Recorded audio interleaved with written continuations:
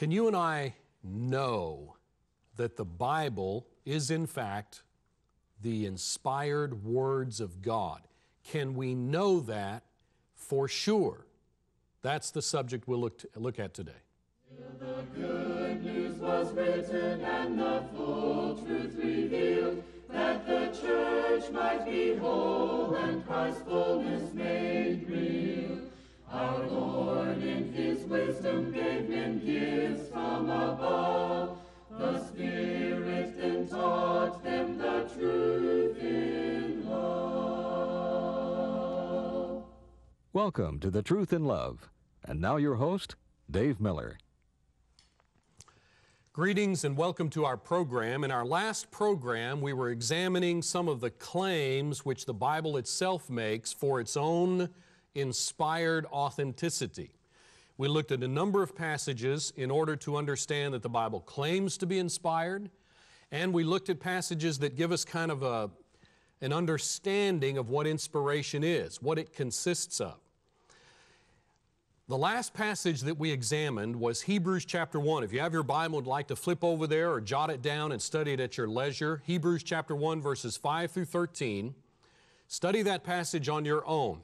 In that section in chapter 1 of Hebrews, the inspired writer quotes from Psalm 2, verse 7, 2 Samuel 7, verse 14, Deuteronomy 32, 43, Psalm 104, 4, Psalm 45, verses 6 through 7, Psalm 102, 25 through 27, and Psalm 110, verse 1, a string of quotations from the Old Testament. And in each of those passages in Hebrews 1, the Hebrews writer attributes these passages to God as the speaker.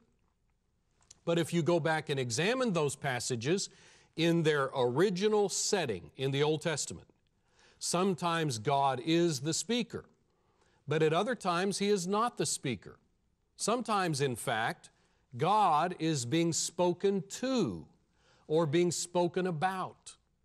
Now, why would the Hebrew writer, Hebrews writer, indiscriminately assign all of those Old Testament passages to God?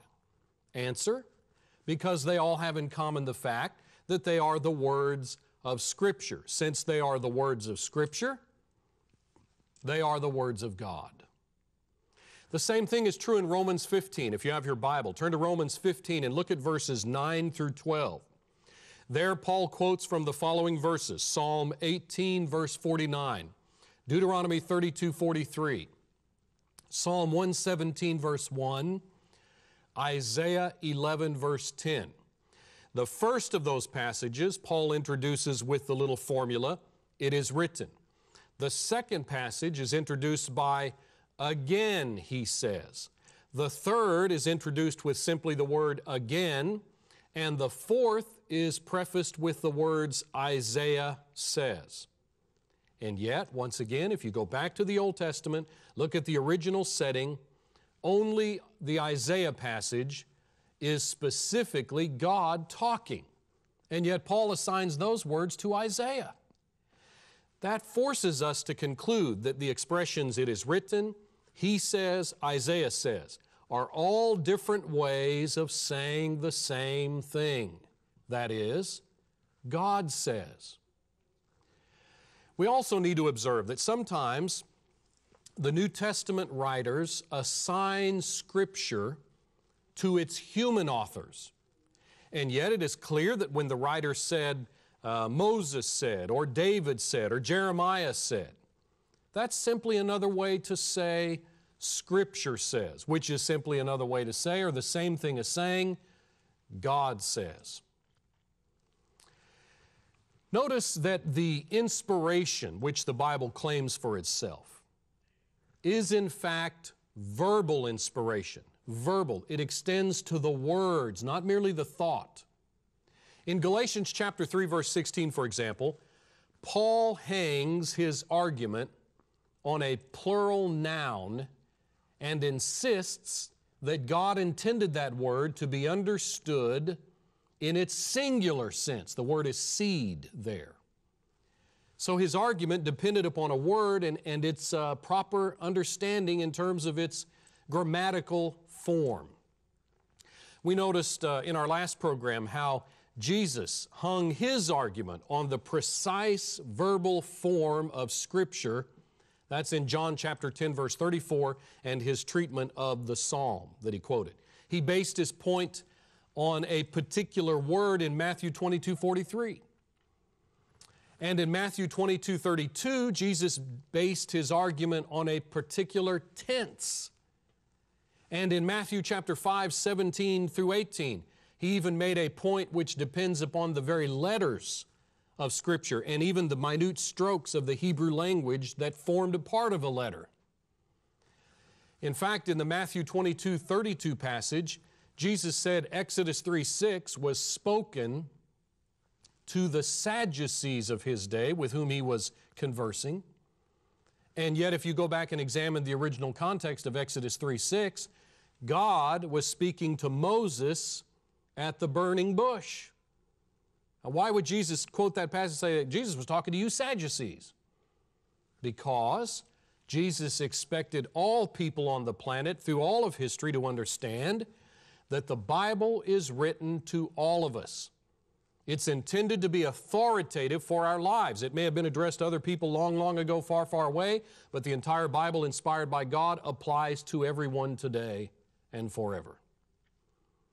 In 1 Corinthians chapter 2, Paul also affirmed verbal inspiration. For example, in verse 4 of 1 Corinthians 2, he claimed that his speech and his preaching were not words of man's wisdom, Rather, his words were in demonstration of the Spirit. That proves inspiration applies to the words. In verse 7 of that chapter, he claimed that he and his fellow apostles were speaking the wisdom of God. In verse 10, he claimed that the things which they had been speaking were revealed to them by God through the Holy Spirit. And then in verse 13 of 1 Corinthians 2, he said it very clearly which things also we speak, not in the words which man's wisdom teaches, but which the Spirit, the Holy Spirit, teaches. So, inspiration, according to the Bible's own record of itself, involves the very words. That makes the inspiration of the Bible verbal inspiration. Another point that we could make about this subject most of the passages that we've examined in our last program and, and today are New Testament references that refer to the inspiration of the Old Testament. And I've heard liberal scholars claim that the New Testament does not make the claim of inspiration for itself. It only says that the Old Testament was. Well, I'm here to tell you today that is simply not true. We looked in a previous program at 2 Peter chapter 3, verse 16.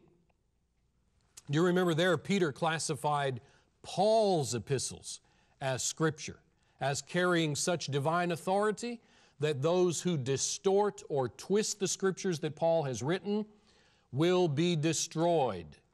That proves New Testament inspiration, at least of Paul's letters. We also noted how Peter linked the apostles with the Old Testament prophets in 1 Peter chapter 1 verses 10 through 12. The same inspiration that applied to the Old Testament prophets applied to the apostles. And we just examined Paul's comparable claim in 1 Corinthians 2 where Paul says we apostles are speaking the words of God. As you read the New Testament, it is clear that the writers made the extension of Old Testament inspiration to their own writings they do not consider for a moment themselves, the ministers of the new covenant, 2 Corinthians 3 6, as being any less in possession of the Spirit of God than the ministers of the Old Covenant, the Old Testament. Jesus, without question, declared the impending inspiration of the authors of the New Testament on several occasions. In Matthew chapter 5, for example, 17 through 20, and the parallels in Mark 13 11, Luke 12 12. There, Jesus explained to the apostles that the Holy Spirit would direct their verbal activities in terms of both how and what they spoke. He reiterated the, the, the same thing in Luke 21, verses 12 through 15. There he urged them not to even worry how to defend themselves when they would be hauled in before the authorities. Because he said, I'll provide you with a mouth and wisdom, which he said all of your adversaries will not even be able to withstand. Then we have the promises that are given in three chapters in the book of John John chapter 14, 15, and 16. Let's look at just one, one passage, although all three chapters make the same point. In John 16, verses 12 through 13, Jesus made the following promise to the apostles I have yet many things to say to you, but you cannot bear them now. However, when He, the Spirit of truth, is come, He will guide you into all the truth. For He will not speak from Himself, but what things soever He will hear, these He will speak. And He will declare unto you the things that are to come. You know, in Acts chapter 1, verse 5, Jesus, before ascending back into heaven, promised to the apostles the impending baptism of the Holy Spirit, which, according to Acts 1, verse 8, would enable them to be Christ's witnesses throughout the world. That very promise made in John 14, 15, 16, reiterated in Acts 1, commenced its fulfillment in Acts 2, when the apostles were baptized with the Holy Spirit and empowered to preach the message that God wanted them to preach. That is inspiration. Numerous passages indicate the fulfillment of those promises to the apostles. I mean, even to the extent that the words which they spoke and wrote were God's words. Go look at Acts 4, verse 8, and Acts 4, verse 31. Go to Acts 5, 32. Read Acts 15, verse 8, and then verse 27 through 28, or Acts 16, verses 6 through 8. We mentioned earlier in our program 1 Corinthians chapter 2 where Paul claimed direct guidance of the Holy Spirit for the words which he spoke. He did the same thing in Galatians 1:12 and in Ephesians chapter 3 verses 1 through 5 he claimed that his message was made known unto him by revelation along with the other apostles and prophets. So passage after passage reflects this same point. Uh, 1 Timothy 4 1, study that passage. Galatians 2, verse 2. 2 Corinthians 12 and verse 7. And 1 Thessalonians 2 and verse 13. These are just a few of the passages. In fact, a good summary of Paul's claim to inspiration 1 Corinthians 14, verse 37. Listen to these words. Paul wrote, If any man thinks himself to be a prophet or spiritual, there he's talking about having miraculous ability, let him take knowledge of the things which I write unto you, that they are the commandment of the Lord. That is an incredible claim to inspiration. And you know, Paul's inspiration extended both to his oral utterances as well as to his written utterances. In 1 Timothy 5 8, for example, Paul quoted Luke 10, verse 7, and referred to it as Scripture. Do you understand that means that the Gospel of Luke was already available and classified with the inspired canon of Scripture when Paul wrote that letter? So, what must we conclude then about the claims which Scripture makes for inspiration? Well, you can easily see the Bible claims for itself the status of inspiration. It claims that it's been breathed out by God Himself, that God breathed the product, the result, written revelation. That inspiration entails such superintendence by God that even the words have come under His influence. And so we affirm very clearly as Christians the Bible is verbally inspired we are not implying that the writers merely took dictation. Some people have accused Christians of believing in dictation inspiration. I do not believe in that. In fact, the Bible indicates that God adapted His inspiring activity to the individual temperament, uh, vocabulary, stylistic idiosyncrasies of every one of the writers. So, for example, if you were to go to Luke and read Luke or read the book of Acts, which was written by Luke, you understand that Luke was a physician by trade, a professional medical personnel. Do you know that when you read Luke or you read Acts, you will find references to medical terminology that you do not find in the other writers? That proves that God inspired Luke to write God's words, but to do it in such a way that it incorporated Luke's own vocabulary, his own temperament, his own style. That is the inspiration of the Bible.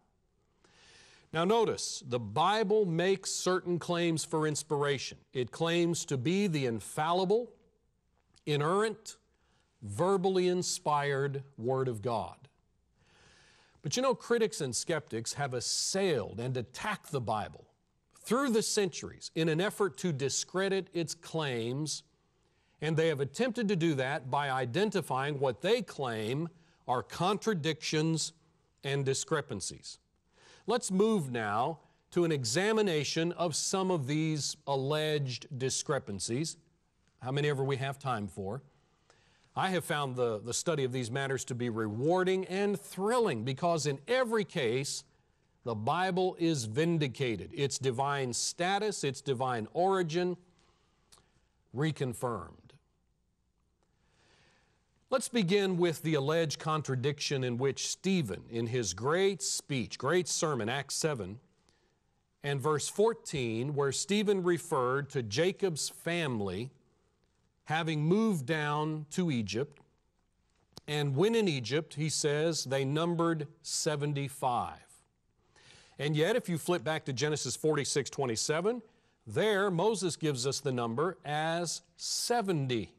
So critics of the Bible claim to have found a discrepancy. Stephen says 75, Moses says 70. If they would have only studied the matter a little more closely, they would have found out the answer to that. Genesis 46 26 numbers Jacob's children, grandchildren, and great grandchildren as 66. To that number, which does not include Jacob's sons' wives, Moses adds Jacob, Joseph, and Joseph's two sons. So, 4 added to 66, there is the number 70. But going back to Acts chapter 7, Stephen did not include Joseph and his wife and two sons in the number that he tallied because they were already in Egypt. Remember, they sent for the family. Joseph is in fact said to have sent for Jacob and the relatives while he was still in Egypt. So Stephen names Jacob separately from the 75 relatives. So Stephen's number includes the 66 that were mentioned in Genesis 46 26, plus he adds the nine wives of Jacob's sons. And you must understand at that, that point in history, Judah's wife and Simeon's wife were already deceased. What number do you come up with? You come up with the same number, uh, explaining why Stephen said the number was 75. So the Bible harmonizes perfectly, and there is no discrepancy. A second example of an alleged error in the Bible is found in Mark chapter 2, verse 26. There, Jesus speaks of Abiathar, whereas the original incident, if you go back to 1 Samuel 21, there you find a reference to Ahimelech. And it appears that we've got two different people being referred to. Well, there have been several plausible solutions to this apparent disparity, uh, any one of which satisfactorily absolves the Bible of error. Let me postulate two. Abiathar and Ahimelech could be the same person because you realize many people in antiquity had multiple or alternate names. For example, Moses' father in law is called both Jethro, Exodus 3 1, and Reuel, Exodus 2:18. Same man, two different names. Jethro is not a proper name, but simply a title of honor. Another example, Azariah and Uzziah are two different names referring to the same man in 2 Kings 15, verses 1 through 7, and 2 Chronicles 26. So it's not unheard of that one man can have two different names, and we even recognize that in our own society. So that's one explanation. Another explanation is the fact that Jesus did not actually say that Abiathar was ministering to David. He simply indicated that the incident occurred during the days of Abiathar. Well, in the days of means during the lifetime of that individual. So if you go back and read beyond 1 Samuel 21, guess what? You'll see that Ahimelech was Abiathar's father. Ahimelech was present when David made his appearance at uh, Nob, this location. Abiathar would have been present as a priest just like his father. He would have become high priest upon the death of his father. Whenever, uh, by the way, his father was executed by Saul shortly after this incident where David escaped. So Samuel refers to Ahimelech as priest, Jesus refers to Abiathar as high priest, but that again shows the precision with which the Bible avoids contradiction. Referring to Abiathar as high priest can be a, an instance of prolepsis. That's a species of anachronism. That's where a person's position later in his life is projected back onto the time when he actually attained the position. For example, if we were to speak of uh, President Abraham Lincoln when he was a boy, well, when he was a boy, he wasn't the president. But we will speak of him and project that back to a different moment in his life. So that explains that alleged contradiction. Let's look at a third one the charge that the Bible teaches that the earth is flat. I mean, critics have gone to passages like Job 22 14, uh, Daniel chapter 4, verses 10 through 11. What about Revelation 7 1, which speaks of the four corners of the earth? They claim the Hebrew cosmology uh, at that time was patterned after paganism, like the Babylonians and other primitive neighbors, who conceived of the sun revolving around the earth. But as usual, the critics are not being fair with the biblical text they are not showing the same consideration which they show for other writings. Because you see, passages like Job are Hebrew poetry, which employs the same license of figurative expression that modern poetry enjoys. Uh, Daniel, for example, filled with apocalyptic material that is packed with symbols and signs. To charge the Bible with inaccuracy in passages like that is equivalent to impugning a man's honesty for saying something like, hey, it's, it's raining cats and dogs today. We understand what we mean by that. If we, with all of our modern technology, still speak on at the 6 p.m. evening news of sunrise and sunset, surely we can afford the biblical writers the same luxury without questioning their accuracy of expression. As a matter of fact, the Bible teaches that the earth is round. In fact, technically spherical. Isaiah 40, verse 22. The King James refers to God sitting upon the circle of the earth, but the Hebrew term translated circle literally means round or spherical. In Luke 17, 34 through 36, conditions are described there that could only be true if the earth is round, so that there would be night and day occurring at the same time.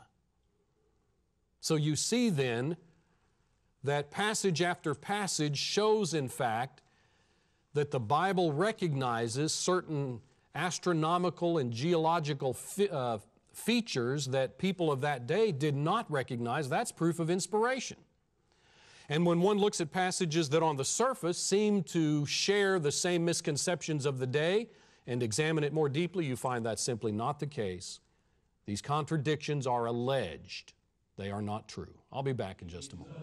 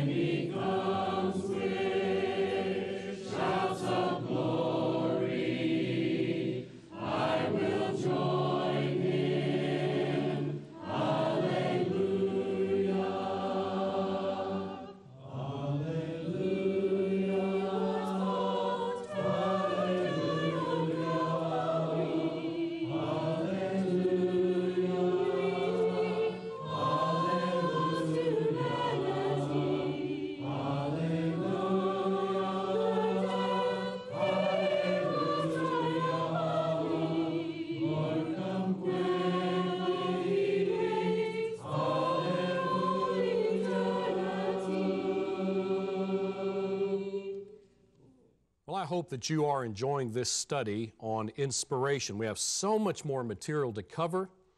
We've looked already at uh, some of the passages that demonstrate the kind of inspiration which the Bible claims for itself. The Bible clearly claims to be supernaturally directed, written and produced and originated by God Himself through the human instrumentality of inspired writers. We've looked today at some of the alleged discrepancies or contradictions in the Bible and seen the few we've had time to look at that these do not uh, justify making that charge against the Bible. We'll look at some more of these on our next program.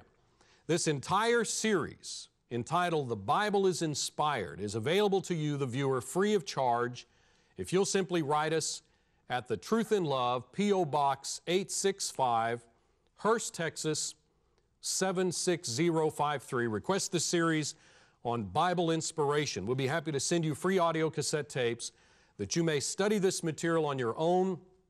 I urge you to determine whether or not the Bible is inspired, whether or not there are any other documents on the planet are inspired. I'm convinced you will conclude there's only one inspired book from the God of the universe. It's the Bible. We'd better study it, live it, and obey it. Hope to see you next time. Full has been given to man. Let us strive for the kingdom by God's clear plan. We must never be swayed by the doctrines of men. Speak the truth in love